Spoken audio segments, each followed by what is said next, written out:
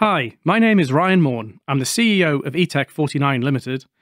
eTech 49 worked with Transense Technologies plc to help develop a new strategy for their business. I am also now on the Transense board of directors. We produced this video to take a deeper look at different torque sensing technologies available today and how they compare.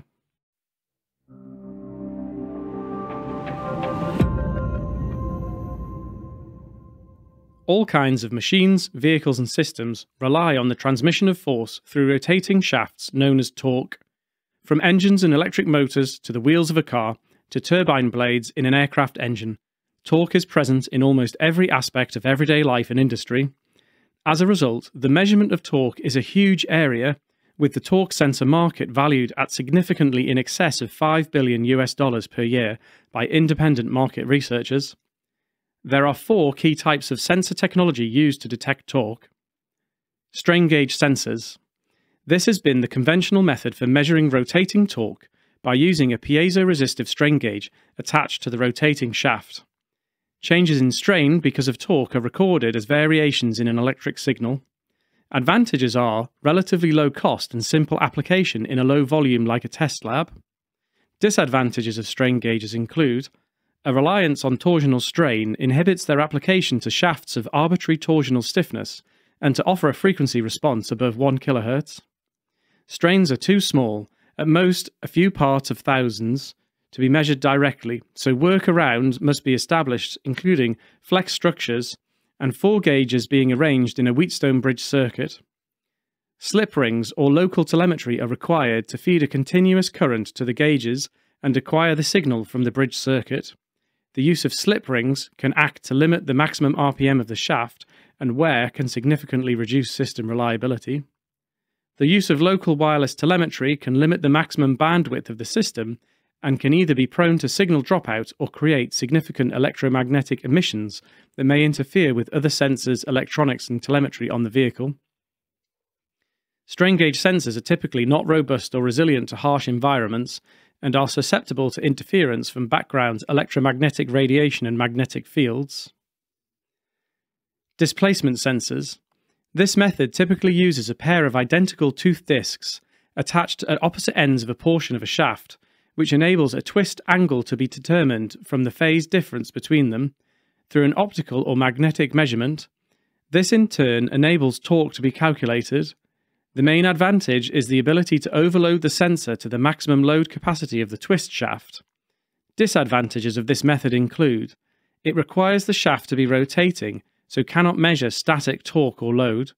It requires a reduced diameter section of the shaft, known as a torsion bar, to enhance the twist angle, which can have a negative effect on the mechanical stability of the system.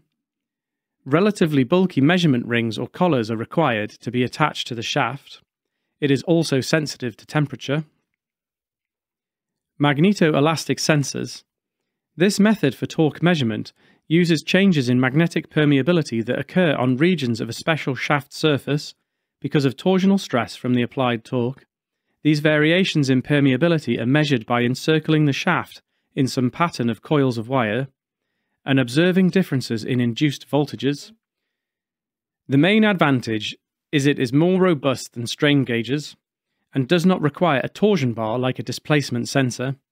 However, there are significant disadvantages. Permeability does not depend exclusively on torque and will vary with frequency, temperature, and magnetization. Permeability is neither an intrinsic property of the magnetic material nor a single valued structure sensitive property. Local variations in magnetic properties of a typical shaft surface limit the attainable accuracy.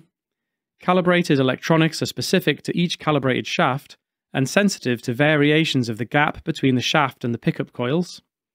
Impact to the shaft can disrupt the magnetic properties on which the calibration is based.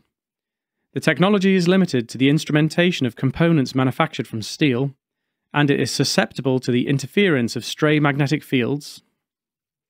Transense SAW technology, a wireless, passive, non contact sensing system consisting of two main components the source sensing elements connected to a close coupled antenna mounted to the shaft, and an electronic interrogation unit called a reader connected to its antenna off the shaft.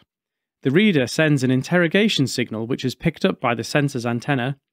The sensing element does not contain any DC power source and works as a passive backscatterer, reflecting the interrogation signal back to the reader.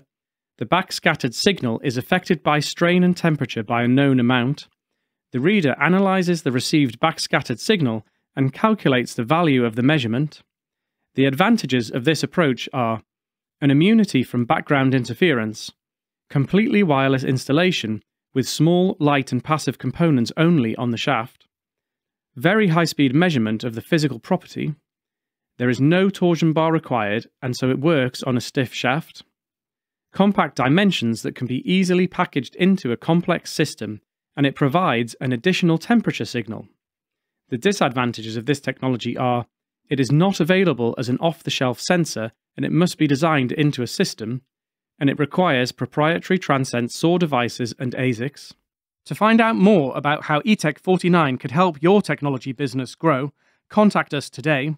And for more information about the Transense torque sensing technology, follow the links in the description below.